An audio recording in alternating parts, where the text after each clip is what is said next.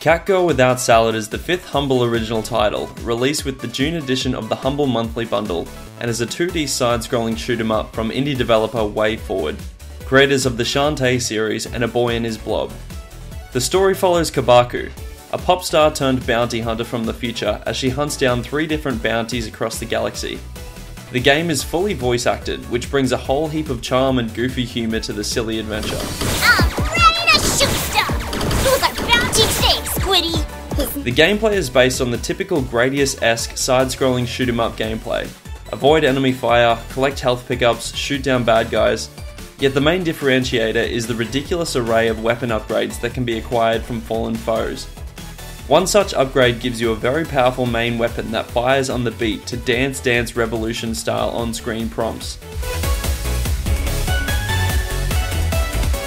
Another fires a large Pac Man like missile that can be controlled around the screen to destroy enemies. A lot of the charm and personality of the game is emphasized by the bright cartoony aesthetics. Everything from the graphics to the music has a very Saturday morning cartoon vibe that's just a ton of silly fun. Hey, Squiddy, where are we?